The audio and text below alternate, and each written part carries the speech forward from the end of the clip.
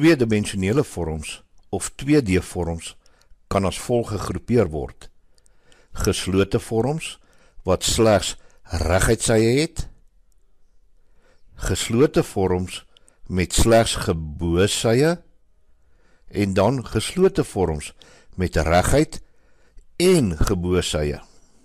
Die volgende is voorbeelde van vorms met reguitsye. Die volgende vorms het slegs gebosye.